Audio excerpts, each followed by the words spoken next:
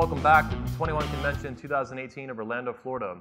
Our next speaker is a dear friend of mine, uh, dare I say, but the best friend I have. This guy saved my ass several times in, in major ways. He has been speaking at this convention since 2011, so for over seven years now.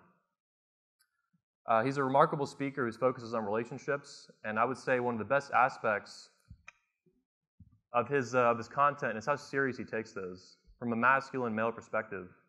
He also has a new book coming out that just published today. It'll be available very, very soon, including the launch party at his house this Saturday for you guys, attendees only, attendees, speakers, and everyone else. Without further ado, please help me welcome Socrates to the stage. Thanks, sir.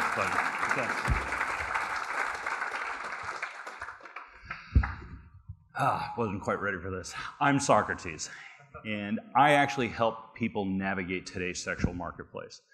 I do that because I believe that the sexes are actually meant for each other, that we're naturally complementary and compatible with each other. And that stands in stark contrast to today's society and culture. I also fear that we've gone seriously awry, that through the combination of culture, society, gender politics, and a sheer ignorance to the natural state of human affairs and their ability to interact, our natural state as human beings, that we've gone seriously awry in all this. My role is to help change that within society. And I'm taking the notion that the sexes are actually meant for each other and doing something about it. About 15 years ago, I had many of the same fears, anxieties, and stressors that many of you face today regarding this environment. I had concerns about where our culture was going.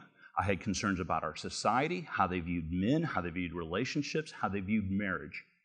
I had concerns about my own fitness and state as a man, my ability to command, uh, my, whether professionally, personally, my role in the environment.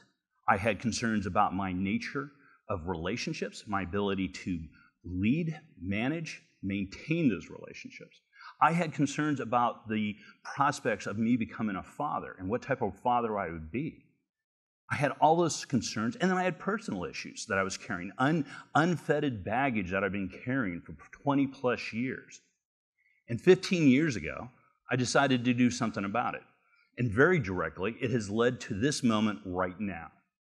I went out and sought the company of men like yourselves that were looking to improve upon themselves in their lives, to understand life, the world, their involvement in society, culture, with women, with relationships, fitness, health, finance, philosophy. And I started leveraging the concept that when I was most successful in life, I surrounded myself with people that were striving for excellence, that were striving for a similar purpose. And I found that in a number of ways in my past life, whether it was competitive swimming in high school, whether it was my involvement in architecture, in an architectural college in the studios, whether it was my involvement in the US military. I was surrounded by excellence on a repeated, continuous basis that improved me. And there was a concept about steel sharpening steel. Okay? And I took that and I applied that to culturally and kind of in a civilian world. And how do you start? Now, it did go down kind of this rabbit hole and I end up meeting a whole series of characters and fun individuals uh, that I still hold very tight relationships today. One of which was a 17 year old punk who, after a meeting in a public library two blocks from here, decided to put on an event very similar like this. Matter of fact, it is this event. If you can imagine going into an event where you're trying to learn about self improvements, learn about particular skill sets, and you have a 17 year old kid saying, We're going to blow this up. We're going to rent a hotel room. We're going to have people fly in. They're going to get hotel stays. We're going to get restaurants. What do we need to do? We're going to put an event on like this. I was in my mid 30s. I knew enough of the individual to say, Yep, have at it. Yep, good, good luck to you. You know, didn't stand in his way because I knew better, but he actually went out and did something about it. And in the course of that, I've seen that individual grow and develop and mature to, the, to not only this environment, but him as a man and as an individual. And it has been profoundly something as an older man that I can look to a younger man as an example to lead. So when Anthony sits down and says we have a, a, relationship, we really do. It's kind of a back and forth fondness for each other and respect out of people putting forth the effort and responding to trials and tribulations, shared both successes, failures, missed opportunities, and a lot of laughs. And so ultimately, I did do something about all this. And where it led me is when I come home today, I hear the feet of my little girl running to me, exclaiming, Daddy, Daddy, Daddy, Daddy. And I pick her up and I throw her in the air. And after catching her, that's key, I get the biggest bear hug that I've ever had in my life. And in that moment, I'm thriving. In that moment, I'm more alive than any time in my life that I faced death, danger, or when I've gone out thrill junking. In that moment, I am complete. As a man, as a father, and as a human being. That's not necessarily going to be for everybody. That is a choice. It was a choice I wanted and a choice I pursued. I'm also rewarded by the loving gaze of my partner as she looks on in admiration, love, and fulfillment of not only as her as a mother, but as of my partner. And while she may not tell me, I can see everything I need to know in her eyes. And by the way, when I see that look in her eyes, I'm responding to her hypergamy. That is a hypergamous trigger I'm fulfilling. You're going to hear more about that through the coming next coming days. You need to respond to hypergamy, her hypergamous interest, her natural, biological, sexual being as an individual, and there's a drive there. It's known, we can measure it. But you have to respond to that. You also have to be able to command your own. So I ended up doing something about that. Uh, we ended up, let me, let me run a little bit longer. The issue is, I actually did something about that. And decisions drive destiny. You need to know where you're going. If you're going to be fulfilled and make best use of your time and energy, knowing your destination is paramount to getting to where you actually want to go. Otherwise, you're going to be aimless. The problem is, we don't live in that world. You know, of daddy coming home, picking up your little girl, hugging her, and having a loving partner. That's not the baseline of today's society. And there's a problem there. Currently, it's projected that less than 25% of millennials will ever marry. That's staggering. That is staggering. This is what that looks like. That is a graphic of societal failure. That is a graphic of cultural failure. That is also a graphic of individual failure. This isn't winning. This isn't sustainable. That doesn't work. You don't have to change society. You don't have to change culture. You just have to change your life so that you don't become a statistic like this. And there's plenty of good reasons why this is occurring. From a male perspective, very little respect is afforded to men who are commitment related. Very little respect. We're mocked, we're disparaged, we're lectured to. Under those parameters, why would you want to? What's the societal incentive that's being fed here? You're being deterred, and it's an external element. We also know that in the same environment, the risks are incredibly high. The penalties are immensely stiff, and the rewards incredibly low.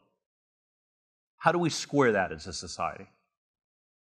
How do we fuel our evolution of society and propagate it going forward when we're faced with this? The last one it's never been a better time to be a bachelor. Are you kidding? With social media, feminism releasing sexual ambition out to the marketplace and the culture, where it's free, available, promoted, where being a slut is now celebrated by cultural leaders and thought intellectuals, men of means and ability are able to command that market. They're able to do something about it. They're able to take advantage of that. Good on them. I don't think it's necessarily healthy. It's a lot of fun, trust me, it really is. But I don't think long term that is a sustainable element as well. Now, for women, we got a whole nother story. Sky is no longer the limit for women. The sky is no longer the limit. Right? Women have the abilities to be anything and have anything they want. Women are, that who are self motivated, assertive, and smart are, ex- are exceeding and succeeding in almost every elements and every areas of life, except romance and everything that comes with it commitment, relationships, marriage, motherhood. It's not just that a condom is Cinderella's new glass slipper. Women today very much are becoming refugees in love, marriage, and motherhood. And tell me, when have refugees ever been the victor or winning on anything? And the answer is in today's social and cultural environment, women are floundering and losing as much, if not more, than men. Another element that I find incredibly shocking is that loneliness is being marketed and sold as a virtue. Think of that for a moment. When has loneliness ever been a virtue? We know that loneliness develops profound and deep psychological wounds. It's a form of trauma. The American Medical Association regards child neglect as the first level of abuse. Neglect as abuse. What do you think loneliness is? Social isolation. It's neglect. Because of this, we know that anxiety, depression, substance abuse, and suicide rates are the highest among those that are most socially isolated. We also know, for example, that the health markers for loneliness are equivalent to smoking. Except smoking comes with a warning, loneliness doesn't. And we have a trademark for this, don't we? Men go in their own way, MGTOW. How about the trademark strong and independent woman. How's that being advertised? Positively or negatively? And the results of this is loneliness. The results of this are health indicators associated with carcinogens. For women alone, to give you an idea what happens if you make these decisions, is that women who are going through fertility treatment and infertility have the same stressors, anxieties, depressions associated with women going through terminal illness, cancer, HIV, and suffering the same ill effects as cardiovascular disease. And this is for women who are infertile. Now, nature doesn't care if she's infertile because it's biology or external elements such as social, cultural, or internal ones you take on yourself because you want to be a strong, independent woman and put your career forward, whatever that may be, in light of your ability to be a mother and command that biologically and have an answer to it. Women are stressing themselves out and killing themselves, putting themselves through terminal cases, health risks, because they haven't thought forward on this. And nature simply doesn't care if it's external biological, or internal. The results are the same. And if nobody's told you yet, nature can be incredibly cruel.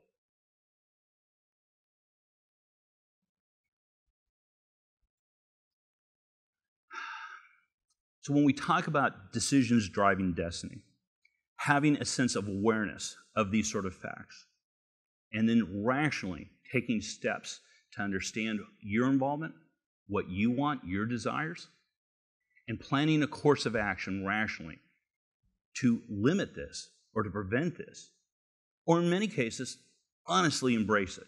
There's nothing wrong with saying and looking at this and saying, that's truly the route I want to go down. But do it knowingly. Don't do it and find you just happen to be there because that's where a lot of these issues with infertility come out is that the decisions have already been made in advance and you're suffering the ramifications of it and having to backtrack for lost time.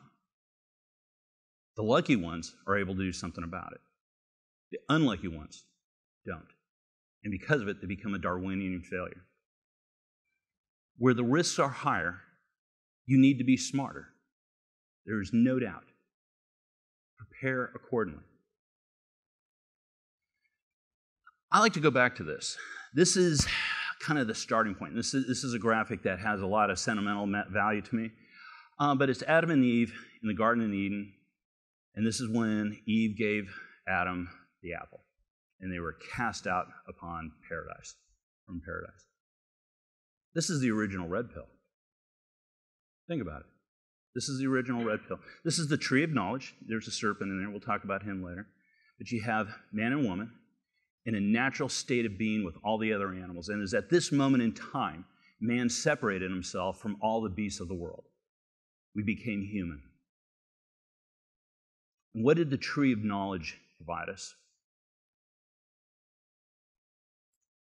The difference between right and wrong, moral and immoral.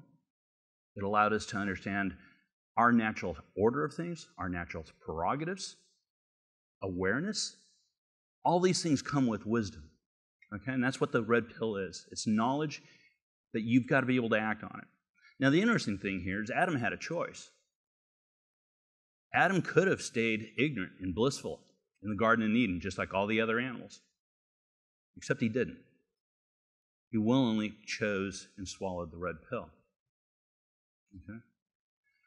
I also want to look at several other things is that when we talk about the serpent in this issue, I believe that's culture and society. Because we don't just live alone between man and woman, there's always society and culture involved. And it's interlaced with our knowledge of the world. Okay? And that serpent right now, is it a benevolent creature? Or is it a hostile one? And the question is, is we need to look at our society and culture and critically examine and provide feedback to it. We shape that. We shape the culture by how we act, how we live, what our expectations, and everything else. Now, going back to the red pill, I think this is a unique moment in time here. This showcases awesome Adam's willingness to defy God to be able to be accepted and committed to by women. That's a stunning testament that you're willing to give up paradise to be closer to women. That's the nature of man. I also think it's the nature of women. They have the same calling, and they need to respond the same way if they want virtuous men in their lives. Ultimately, I believe the red pill's there not to pull us apart from women. It's to pull us, make us aware of our nature, and bring us closer together, not further apart. So, what does the red pill teach us? And it's not necessarily specifically the red pill says this, but what are the takeaway elements? You know, and if you're always constantly worried about the concerns, and the red pill primarily focuses upon a woman's hypergamous nature, her sexual impulses and nature, and how that plays out in society, her decision making, her relationships, and the risks thereof. What does that actually tell us? It's to be wary, it's to be fearful, it's to be on guard. And when you constantly are fed a litany of things to be afraid of, it's natural to be fearful. So, what are some of these things? Well, quite honestly, when mommy isn't happy, she'll torch that shit. All right? And the reality here is if you don't have appropriate behavioral skills, you'll resolve the issue inappropriately. And that will be setting fire to your family and home. Right? Because you didn't get the call attentions, you didn't get the beg for, for notice. You didn't get the effect of an indicator of interest. You missed those lessons. You didn't see that, or you ignored it, or you weren't able to handle it. And by the way, you have an obligation to lead, manage, maintain, and repair. That's the burden of performance. She does as well. They're slightly different, but she does. And this is a result of not being heard and not having appropriate decision making, okay? Being able to resolve things appropriately. And by the way, whose, whose, whose problem is that? Remember, you chose her. You chose a woman that didn't have appropriate behavioral skills. And this is the result. Here's another one. We live in a society that 50% of the marriages will end up in divorce. That's what that looks like. Half that building's on fire. Or let me rephrase it half that burning building is burnt. That's the divorce half. A good portion of that building's on fire. And that bottom portion, I guess that's kind of cool to live in. I don't know about you guys. Ladies, I don't want to live there. Sure as hell I'm not going to live there. And that's your problem, not mine. If you want men to commit, you want men to marry you, you think you're entitled to that, you have to resolve this. You have to make sure that when you speak of marriage, that doesn't come to my mind. That I know everything you say, and more importantly, do, is telling me this will not be the result. And right now, this is completely acceptable in today's social, eh, cultural and social environment. Matter of fact, you actually have bomb throwers. You have suicide bombers in here. You have social justice warriors. You have feminists torching the place, prompting it. How would you like to live in an apartment complex or this building with arsonists, filled with arsonists? This is why men are walking away. We also know that it doesn't end here, does it? Because what mommy doesn't burn to the ground, the courts and attorneys will actually destroy and demolish. It's not over just once the fire's put out. Now, that's just the initial tension. The other thing, and I kind of humorous here too, there always seems to be a social, not so much a social justice warrior, but an apologist pissing on your ruins just to keep the dust of the disaster down. This is what men face, this is what men deal with, and this is how we see relationships. And if you think we're fearful, there's reason, there's good cause. The others, we're also left with what remains ruins. Not always just ruins, sometimes they're clean ruins, sometimes they're kind of pretty. But the reality is, we're left with the remains of what was, what could have been, and what should have been. And by the way, we pass by this daily. We all know somebody who's gone through divorce at this stage. We all know somebody who's lost custody of their children, who's been alienated from their families, from everything they tried to create. And they're living and breathing and moving amongst us. We see this, we fear this, and it resonates with us at our core. There are reasons why men are avoiding commitment in relationship. And there's a natural response to this. Fuck you, I quit. No. Rational decision making processes lead men to say no. No commitment for you, no dick for you anymore. I'm going to swear off women. And by the way, there's a lot of integrity in doing that. It's incredibly hard. And that's the MGTOW movement men going their own way. Men that are actually separating themselves from other women and people to protect themselves. That's an ugly, ugly testament to society. The problem is, doesn't really work. For some who are really disciplined, know what they want, will actually achieve it, but they're going against their nature. They're going against our biological nature as mammals. The more likely scenario for the, the hardcore red pill swallower is he'll learn these lessons. He won't get committed, but he'll still engage with women, particularly sexually, because there's a tremendous biological impulse to do so. We're rewarded to doing so, hormonally, societal, everything else there's a tremendous desire to connect with women. So, what, what usually ends up happening? You know, you would think that this would be a natural male contraceptive. The problem is it isn't. All right? The problem is most of you guys are going to have weak pullout game. And for the red pill Rambo, the most likely occurrence is he's going to end up having an unwanted pregnancy with a woman of dubious value. And I say of dubious value because they're not screening for women of value. They're not looking for women who would be good mothers, good wives, good partners, women who have social skills, both in relationship skills, relationship management skills, relationship maintenance abilities. They don't have a degree of socialization, they don't have a network of family. They don't have a support group. They don't come from institutions that promote and foster relationships. No, you're going after fucking hot. Is she hot or not? And that's all you care about. And by the way, women who don't develop themselves virtuously are responding to base biological needs that tend to be non virtuous. And you're going to pay for that. Ultimately, when that happens, because biology will win, you'll have an unwanted child. And that's a tragedy. And feminism wins. For an organization, an ideological political movement that is there to destroy the patriarchy, destroy the nuclear family, and provide tremendous disruption to the natural human order of things. They don't care.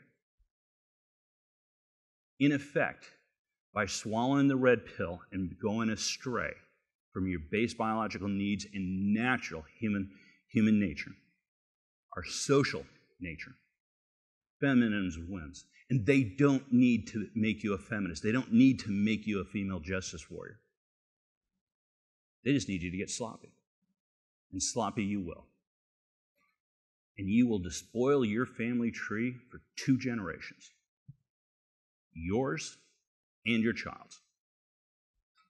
If you think we have problems now, give it another 10 years.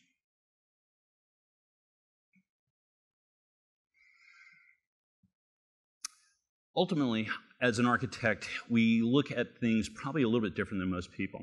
Everybody tends to look at architecture as the mass. You know, for example, this would be a cube if there was no voids. But the reality is that in many cases, the voids will actually tell us more or much more information than the actual mass itself. So, for this example, that cube is actually very intricate. We know there's spaces involved, and we know there's a degree of order here in addition to it.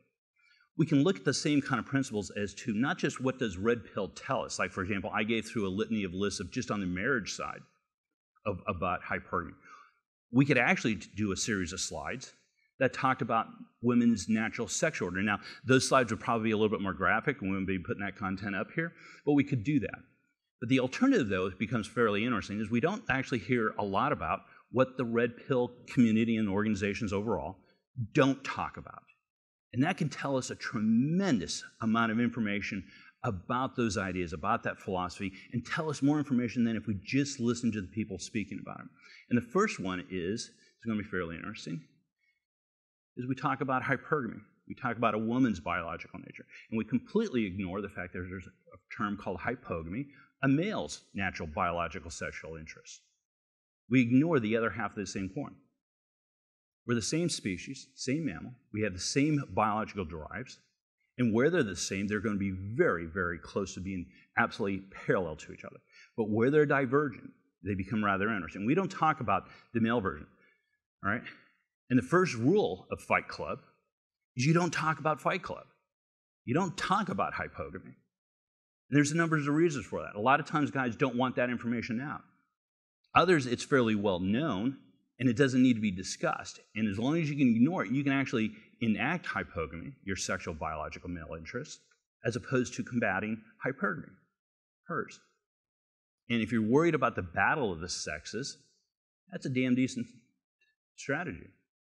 Because remember, one side's going to win, yours or hers, if you have that viewpoint. I don't. I believe we're compatible and complementary and we're meant for each other. Therefore, we need to work together. But going back to Fight Club, when you take Fight Club as kind of a, a genre approach to it, one of the analyses is, with Red Pill is it's combative in nature. You're in Fight Club. You're not there to do poetry reading. It's Fight Club. You're now a combatant. Further alienating yourself from women, further alienating yourself from relationships, further alienating yourself from your actual natural state of being a mammal, of being a social being. This can go on. Right? One of the things I'll tell you too, and this, this is an element to it as well, and you'll hear a little bit more later on, is you're not Tyler Durden in this case. We want to think we're, we're Tyler Durden. The reality is we're Ed Norton. We want to be Tyler.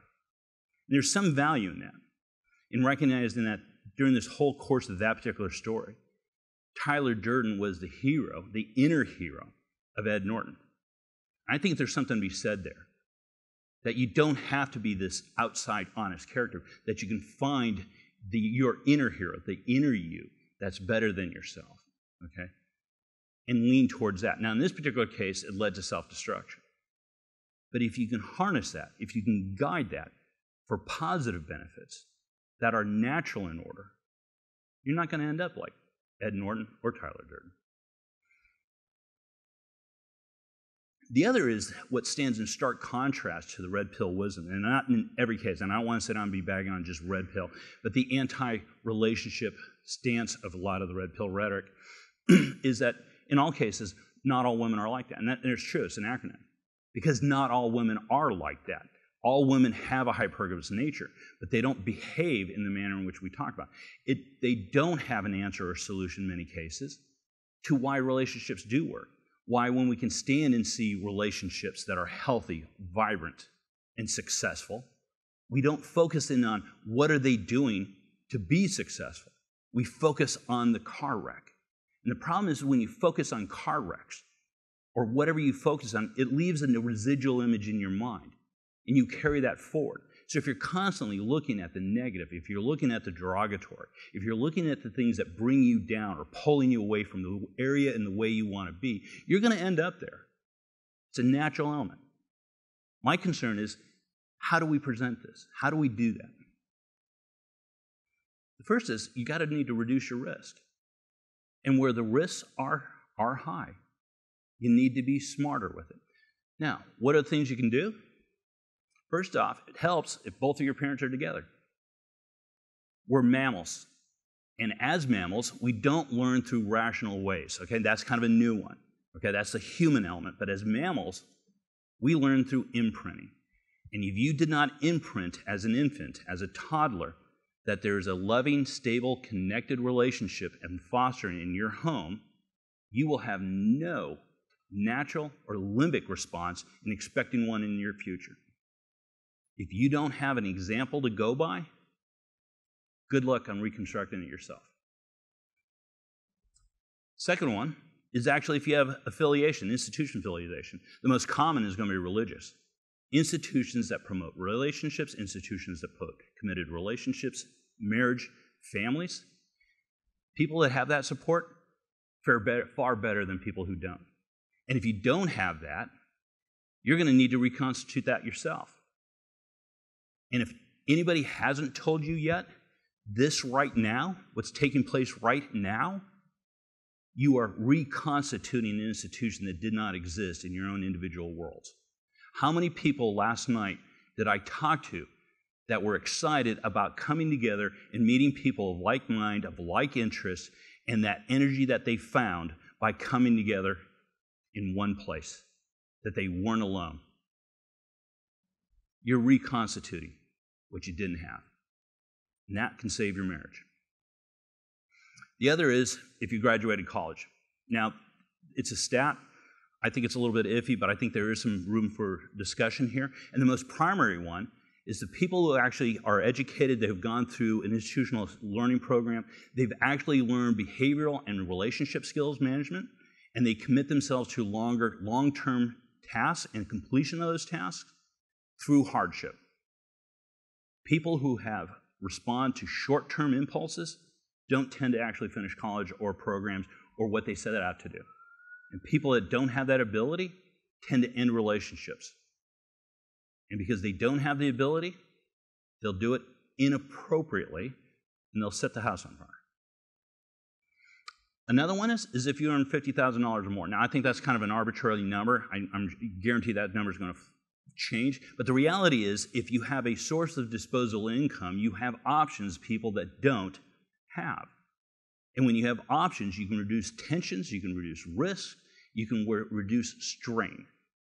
And that becomes terribly important.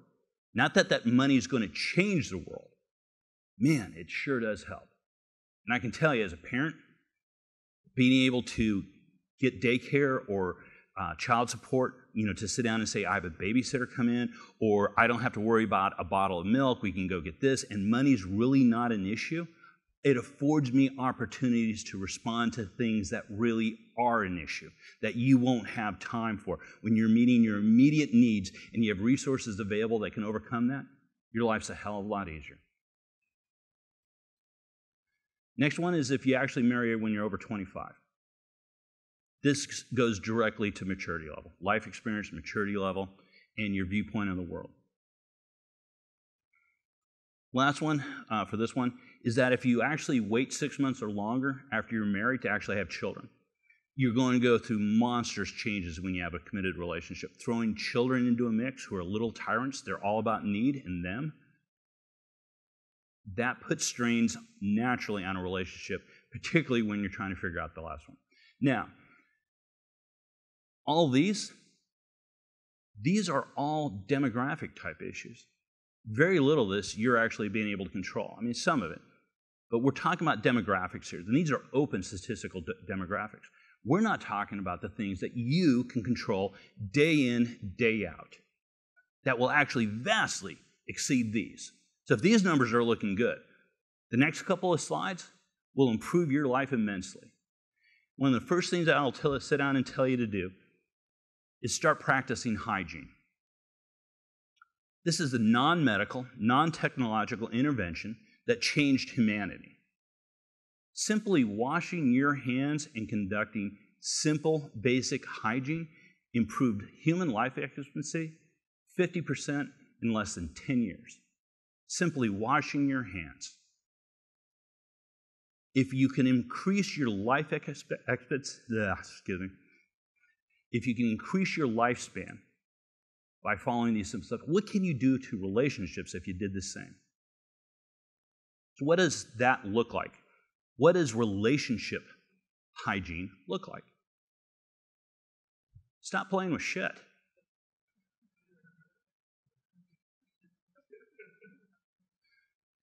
First off, it's never going to turn out the way you think.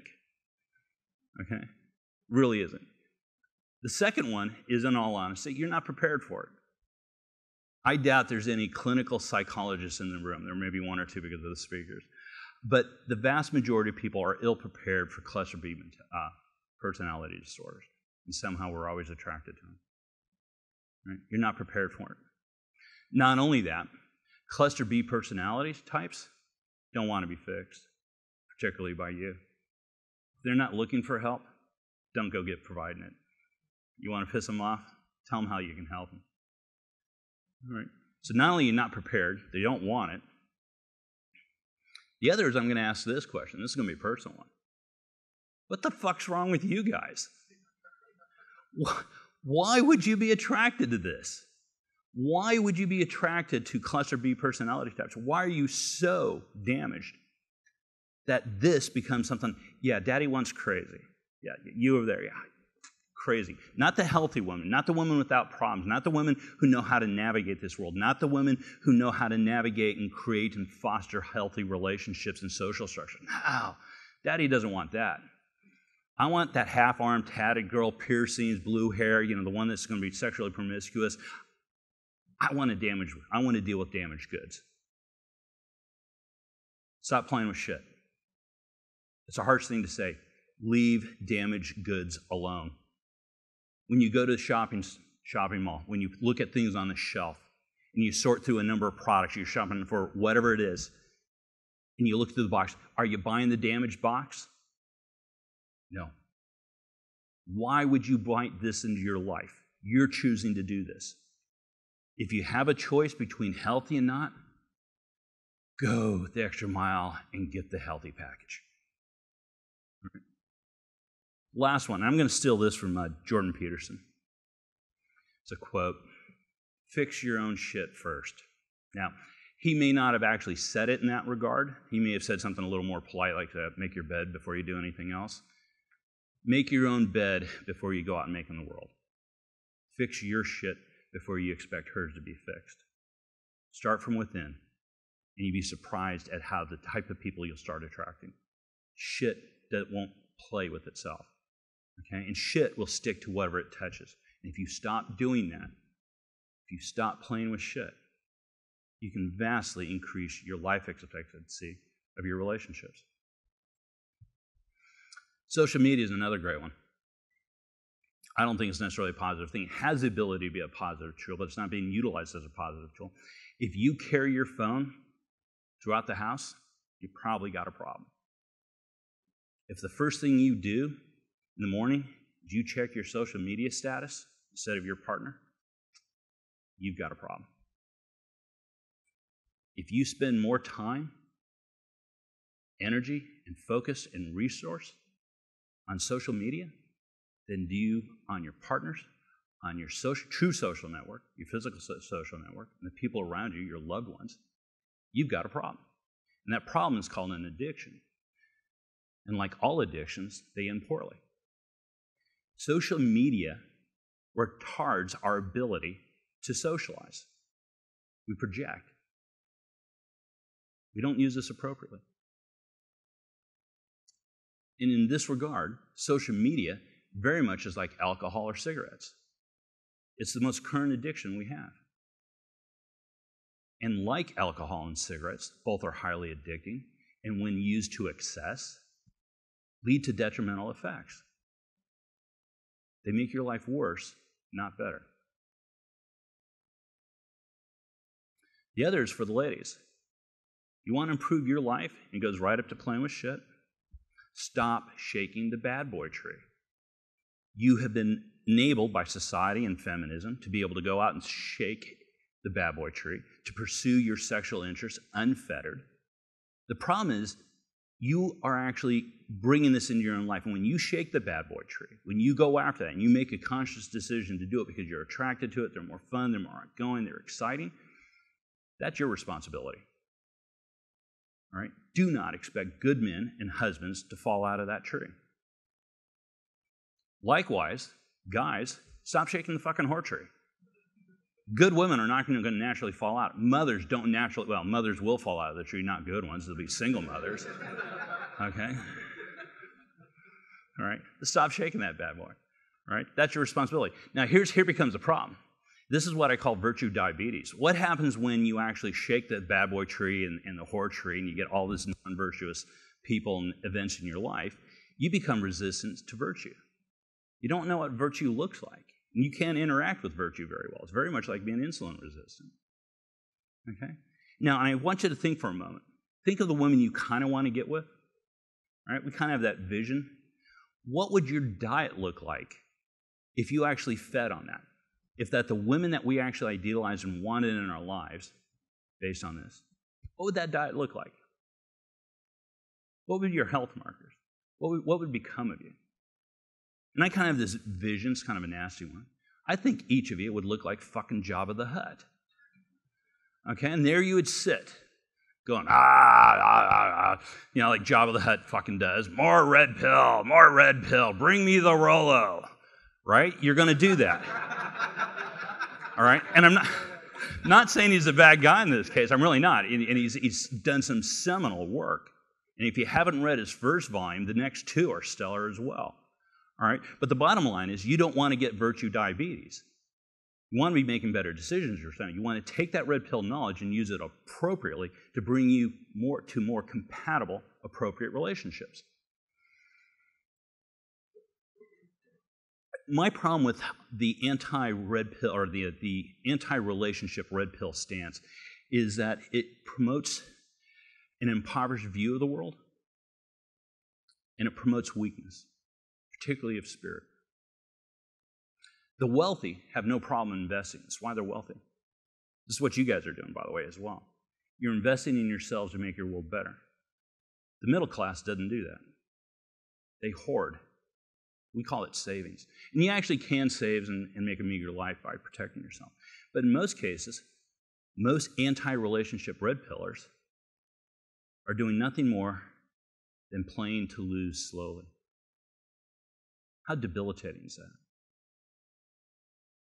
When you play to lose slowly, you're not thriving, you're not really living, and you're squandering your life. And you know in time you're going to end up with nothing because the casino always wins. In that case, the casino is Mother Nature.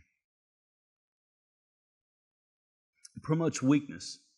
You know, it promotes weakness because when you are weak, you need the sophist to tell you you can't do this, that the challenges before you are absolutely insurmountable, that all women are like that and they will destroy your marriage. All women will put torch to their homes. We live in a society that's half burnt out and collapsing and failing. When you're weak, you need those sophists. When you're weak, you're willing to fail. When you're weak, you look for opportunities to fail. There's a vast difference between being weak and being underdeveloped. If you don't know, you're just underdeveloped, particularly with knowledge. But you can change that. If you're weak, you can become strong. Now, going back to the Tyler Durden Ed Norton case, where we talked about Ed Norton having this inner hero called Tyler Durden. I think there's something to that. I think there's something to the fact that in each of us, we want to be the hero in our own lives. And I think that's a positive thing. But I think we need to take it a step further. I think we need to look and find the true inner hero in ourselves. What that'll be, not, not some Marvel comic book superhero, but the real you that does heroic things. And in each of your minds, I think each of you know in your whatever predicament you're in, you know exactly right now what that inner hero would do to change your life. And the further separated you are from your hero, your real hero on the inside, is lost potential.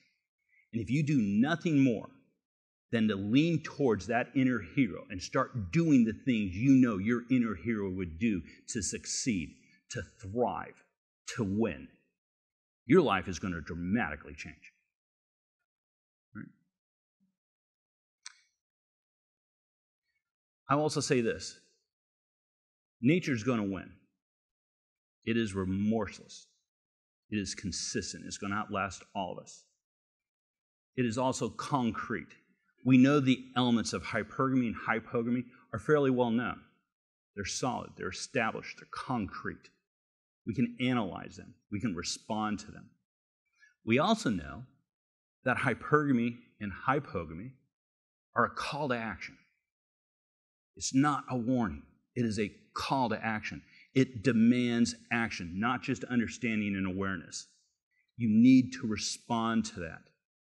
Lastly, I'll say one more thing in regard to this. Hypergamy and hypogamy are inspirational. We should be inspired to these challenges. As men, we should be rising up to meet them. Women need to rise up to meet them.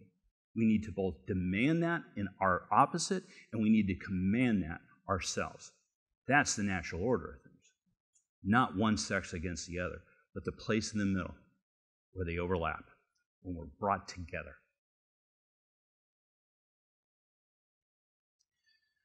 This particular one bothers me the most is the anti-relationship stance that a lot of red pillars have is that it takes our tremendous potential for being a parent in committed relationships and it teaches us to hold that value in contempt. Think about that your massive potential of being a partner and parental potential to be held in contempt. It's revolting. It suffers not only from a lack of spirit, it suffers from a lack of soul. And that is a human tragedy. Any institution, philosophy, society, culture that doesn't put family, marriage, and relationships first is going to be fundamentally wrong. Fundamentally wrong as to our human nature, fundamentally wrong that is anti thriving, and fundamentally wrong that is self extinguishing. You want three solid arguments why an anti relationship stance is wrong? There are three. Counter those.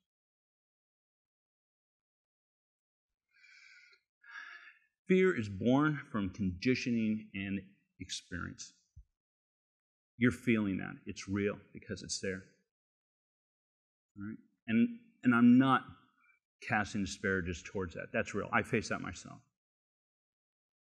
The difference is fear is natural, but it is a reaction. It is a natural limbic reaction. Courage, on the other hand, stands in contrast to this. Courage is a choice. Courage is what you summon when you're in fear, when you're afraid. And that is a conscious decision. And that is our human element, our cerebral cortex, overriding our limbic system for fight and flight and our mammalian system. Okay, and by the way, that brain's larger, and it has to be because it's the latest developed. But you have to train that. You have to condition yourself for that. Seneca sat down and said, We suffer more in imagination than we do in reality.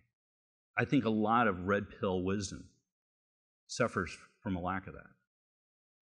I think in many ways we suffer more in fear of something than we actually do. And that is not to cast disparage on the human tragedy that have occurred, the train wrecks that did occur, the wrecked marriages, the torn apart families, the damaged children, all of it. That's not how we have to live. It's not how we should be living. You need to know what you're playing for. And when you do, that can be a tremendous springboard for self improvement. Five years ago, I very well could have been on MGTOW. My fears were that strong. I was older in nature. I was missing my biological window. And if you don't think males don't have a biological window, you've got a lot to learn. We do. It's just nature's not nearly as harsh on men in that regard than they are women. It's an unfairness of nature, but that's how it is. But at that point in time, I had a choice. And I wasn't going to be happy or willing to go in my grave not knowing, second guessing myself. And I had the opportunity to pursue a number of different avenues and prepare myself accordingly, as I stated in my introduction. And today, I have my daughter to thank for it. And I, it, it just, it's a wonder for me that I even came that close. But you need to know what you're playing for. You need to know what your mission and purpose is. That needs to be communicated with your partner. You have to be in agreement on that because if you're going that way, you got a world of problem. And the future belongs to those who show up prepared. A father's investment is going to grow beyond himself, it will actually survive him. The childless become less and less significant and have less investment into the future with each passing year and depreciates yearly to the point of zero. And that is a harsh statement within nature, and nature will not care. For men who choose to lounge by the pool in today's social and cultural environment, take advantage of the free ride of hypergamy. They're advocating the future. By the way, that's our obligation and right. And compared to other men's in past, we are born kings. The day and age in which we live is an immensely glorious one. I'm not saying there aren't challenges and they're significant, but we should be worthy of today's age. I've stated decisions shape destiny, and they do.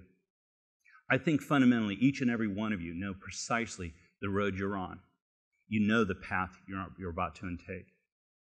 You also know where that road ends up. My advice to you choose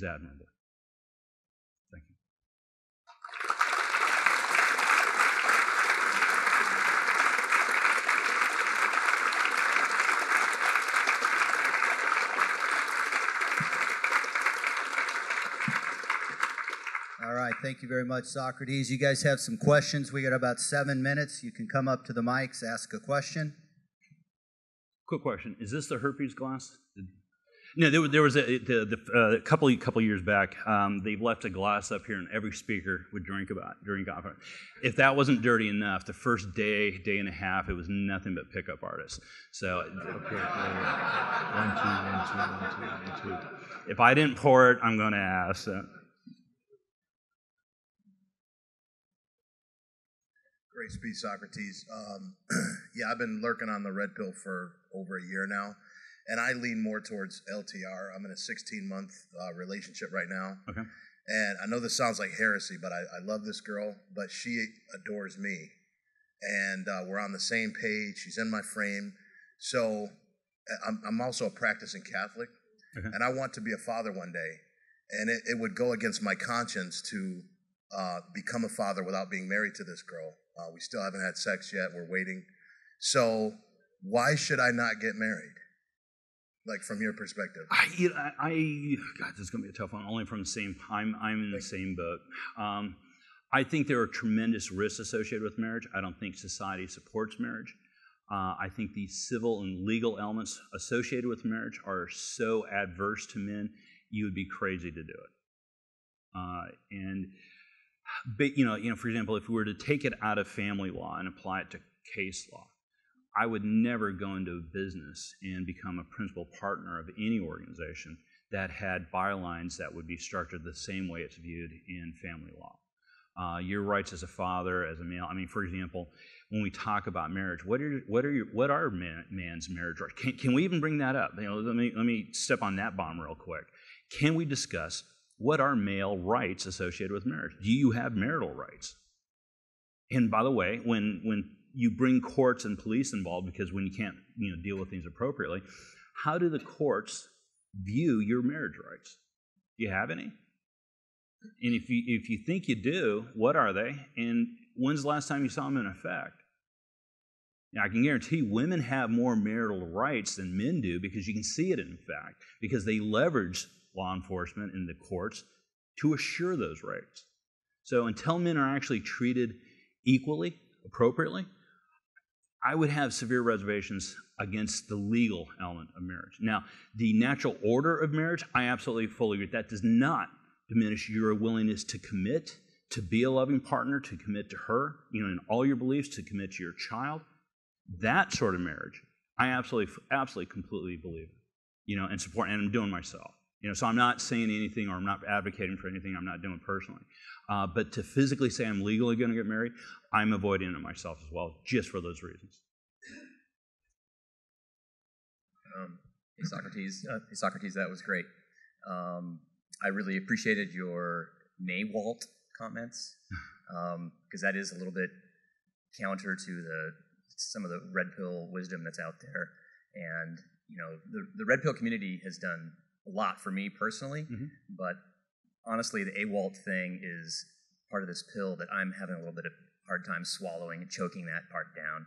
Um, so I was wondering if you could maybe expand on that. Yeah, absolutely. I- I- Uh, if you're like me, you're probably prepared to be judged a little bit as being purple pill for.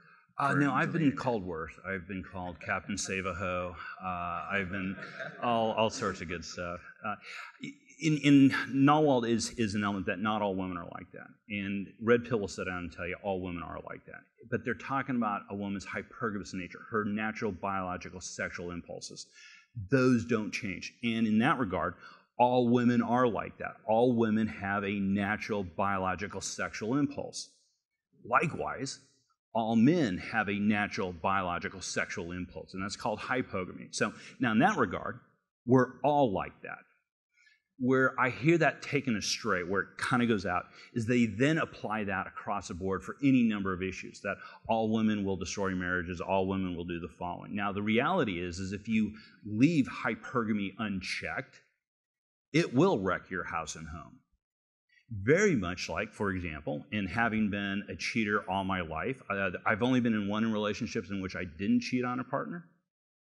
When you leave my hypogamous interest unchecked, when you haven't been able to command my attention sexually, when you haven't been able to respond to my biological natural sexual impulses, and you haven't been the answer to that, I'll wreck that shit too when I don't have appropriate uh, response skills, when you're ill prepared, and I was.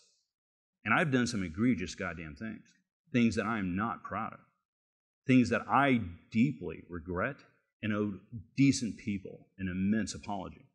Part of which is why I'm here. It's not, you know, it's it's a kind of a, a moral shift. Is that where you were once moral, the way to right the world is to become moral, and not just to not do it again, but to teach others and say, hey, I know I hurt you, I damaged you, I behaved abominably. And while in many cases some of that may have been justified in part, it did not justify my actions. And what did I do about it?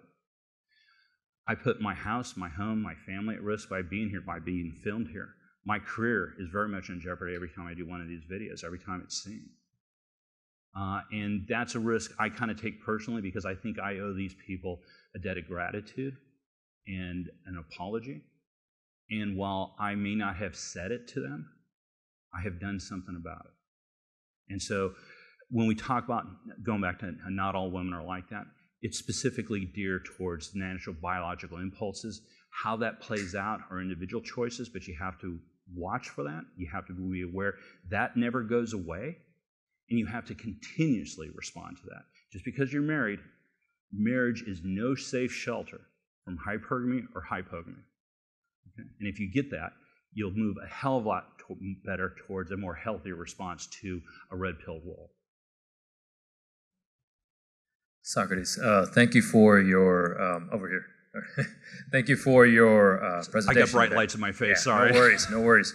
Um, it's very timely and uh, that certainly provided value to me. So thank you for that. My question, a little bit of a two-parter. Um, what counsel do you have for men who seek, who are thinking about seeking to create a life and a legacy that may not involve family and children, instead their impact on their community, on their society?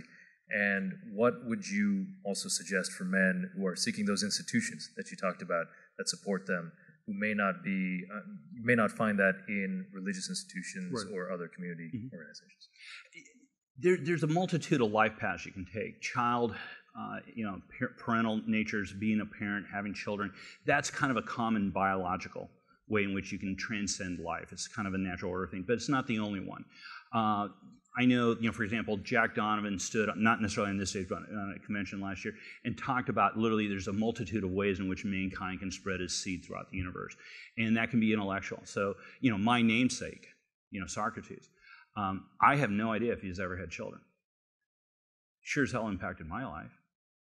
Okay, most people here are at least aware of him, uh, and so he impacted the world through you know ideology, uh, through philosophy, those sort of things that transcended you know um, you know millennia. I think that's terribly powerful. Uh, as an architect, I used to believe that you know my God, you know I give shape to and rise to society, and that's that's generally true.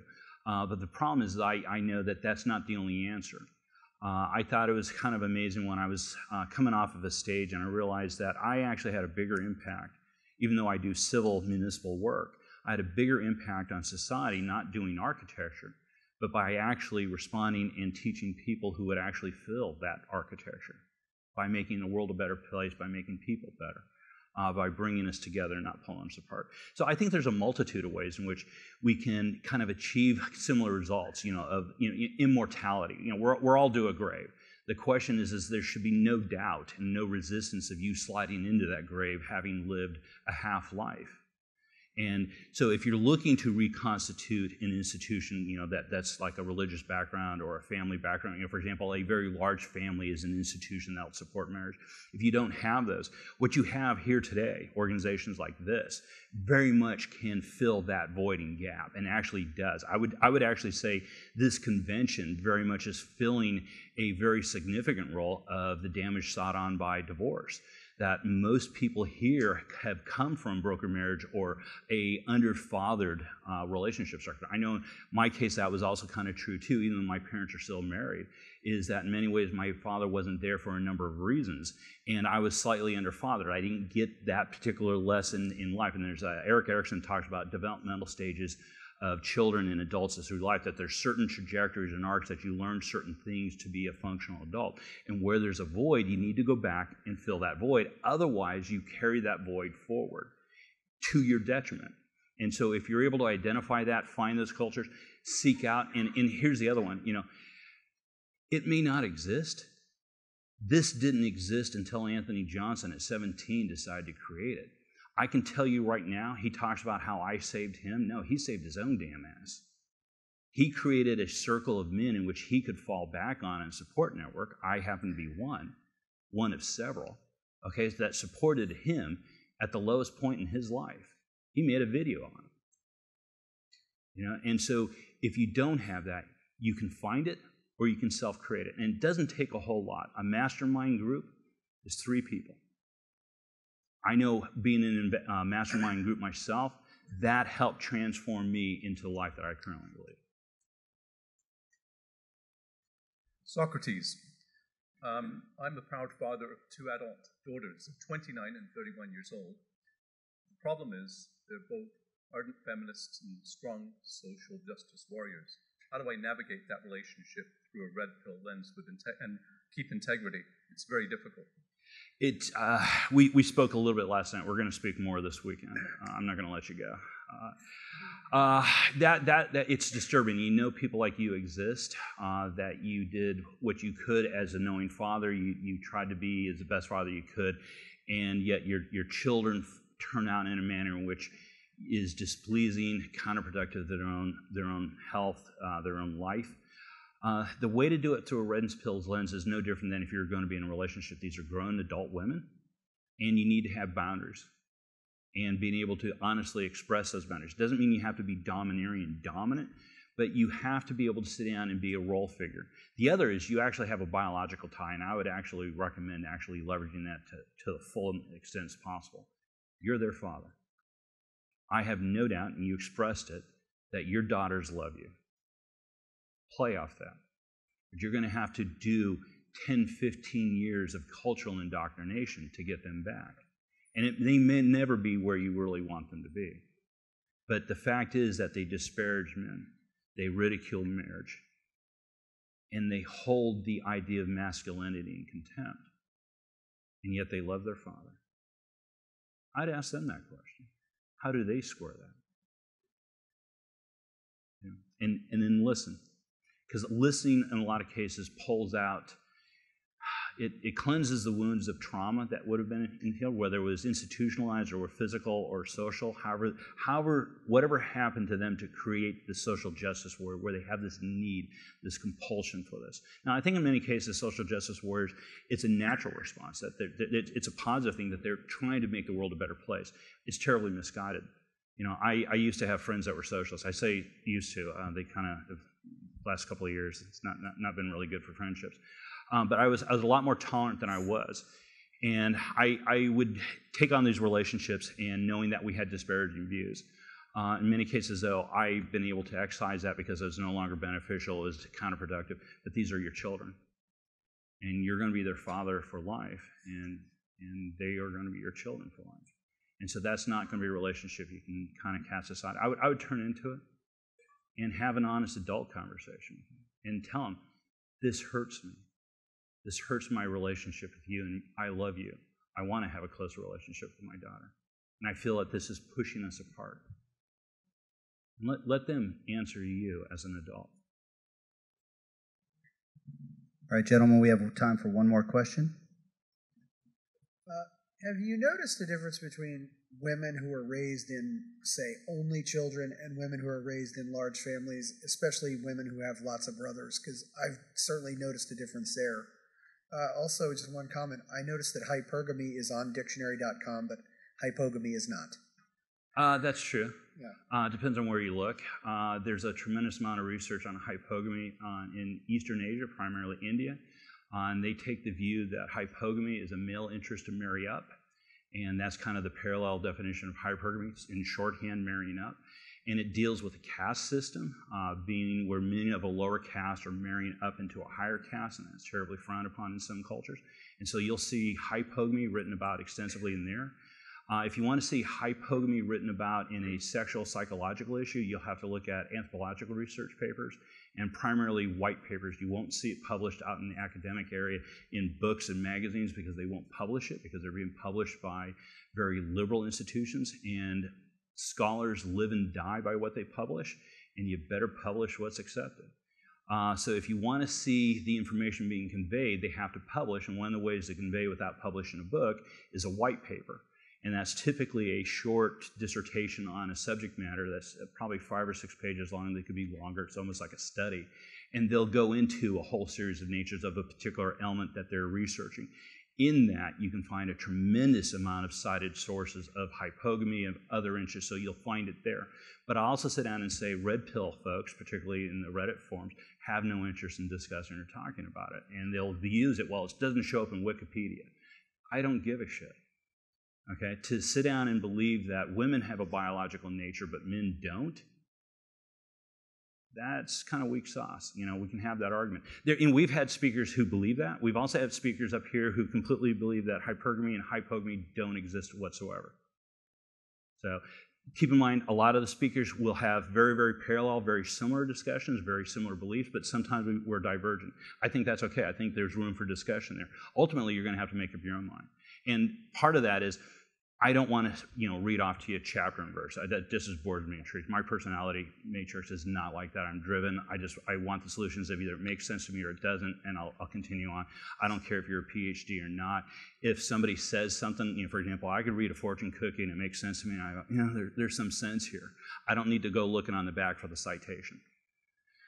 Now, going back to your first question, uh, have I seen a difference between somebody from a large family and small, different? Yeah, absolutely. I think very much personalities are developed by the relationship structures that we imprint on uh, because we're mammals, and an only child will have a vastly different imprinting process and experience than somebody from a family of 10.